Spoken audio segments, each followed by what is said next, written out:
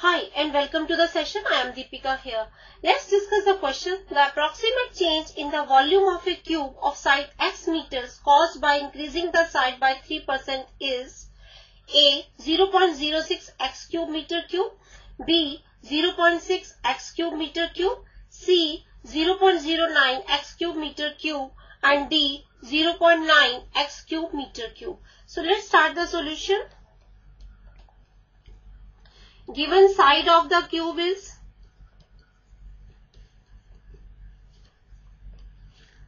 x meter. Percentage increase in the side is 3%. This implies delta x is equal to 3% of x that is 0.03x. Let V be the volume of a cube with side x meter. Therefore, V is equal to x cube and dv by dx is equal to 3x square. Let delta v be the approximate change in the volume. Therefore, delta V is equal to dV by dx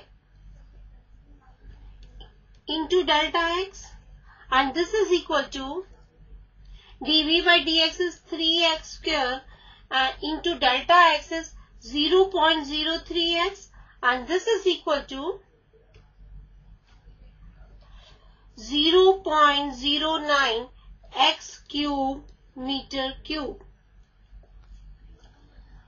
Hence, the approximate change in the volume is 0.09 x cube meter cube.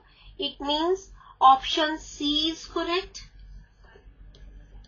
And this is the answer. I hope the question is clear to you. Bye and take care.